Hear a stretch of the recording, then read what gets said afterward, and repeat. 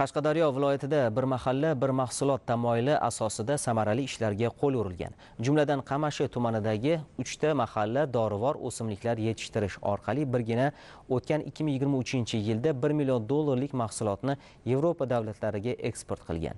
Mirishkorlarning joriy yilgi rejasi 1,5 million dollar. Gullar atrofga go'zallik baxsh etadi ko'zlarni quvontiradi. Ammo bu gulning yana bir ajoyib xususiyati bor ya'ni katta daromad manbai. Misol uchun bitta xonadon bir sotix yerda gulxayri yetishtirayotgan bo'lsa 6 million so'mgacha sof daromad ko'radi. Agar ikki sotix bo'lsa 12 million sof daromad degani bu. Ayni vaqtda qashqadaryo viloyatining qamashi tumanidagi o'rtachim sarbozor qo'shkapa mahallalaridagi 812 ta xonadon gulchilik bilan shug'ullanadi.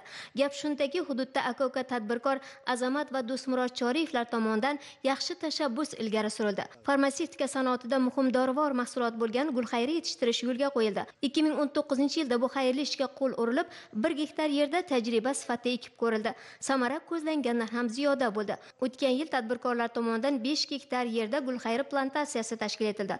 Bundan tashqari 300 dan ortiq aholi xonadoniga ham gul urug'lari yetkazib berilib dorivor o'simlik yetishtirildi. Joriy yil tumandagi esaboy mahallasi hududida foydalanilmay turgan 10 gektar yer maydoni tadbirkorlar tomonidan auksion orqali sotib olinib gulxayri ekildi gul yetishtiruvchi xonadonlar soni ham oshib jami maydon 29 gektarga yetkazildi. Gulxayri gulini yig'ib olish mavsumi 3-4 oy davom etadi. Bugun 3000 dan ortiq aholi mavsumiy ishlarga jalb qilingan. Ayni paytgacha 22 tonna gul terib olinib 300 ming dollar eksport amalga oshirildi. Shu bilan birga boshqa dorivor o'simliklar bilan qo'shib hisoblanganda 100 tonnadan ortiq mahsulot yig'ib olinib 500 ming dollarlik mahsulot eksportga yo'naltirildi.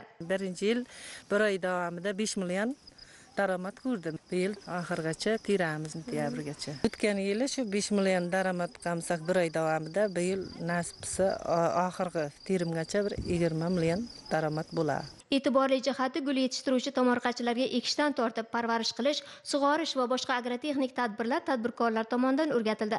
Ayrim xonadonlarga oqova suv yetib bormasligi hisobga olinib ularga artezan quduqlar qazib berildi.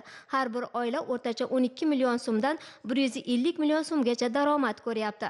O'zim hamshira bo'lib ishlayman. Qo'shimcha daromad sifatida gulxayr ekamiz qo'ni qo'shnilar hammamiz ekamiz. Zavq beradi odamga kirib terganingizdan keyin shunday chiroyli.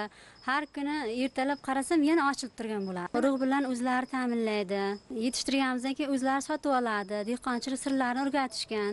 Xorijiy hamkorlarning taklifiga asosan o'tgan yil ilmiy tadqiqot ishlari olib borilib tajriba sifatida shirinmiya sestrum oynetarium va turli kasalliklarga davo bo'lgan urtika dorivor o'simligi tajriba sifatida ekildi. Ilmiy o'rganishlar yaxshi natija berdi. Joriy yil qoraqalpog'iston jizzax va qashqadaryo viloyatlari hududida jami 100 gektar yer maydoniga shirinmiya o'simligining 125 turidan namuna sifatida ekildi. Bundan tashqari yana 6 gektar maydonda boshqa dorivor o'simliklar yetishtirilmoqda. Xorijiy investorlarimizni talabiga va taklifiga binoan e, bizlar yana 18 xildan ortiq dorivor o'simliklarni yetishtirib e, ularni e, hayotga tatbiq qilish maqsadida u eksperiment sifatida bir sotiq ikki sotiq qilib tajriba uchastkasi yaratganmiz. Uchtasini ham hozir eksportga mahsulot qilib tayyorlamoqdamiz hozir. Qolganlari bir o'n uch o'n to'rt xili tajribada hozir. Bular tajribadan o'tgandan keyin bularni ham to'g'ridan to'g'ri Э, aholiga berishni yo'lga qo'yamiz. Keyinchalik o'simliklarni o'zimizda qayta ishlashni ham yo'lga qo'ymoqchimiz. Aholiga qulaylik yaratish maqsadida chim hududida agrologistika markazi faoliyati ham yo'lga qo'yilgan bo'lib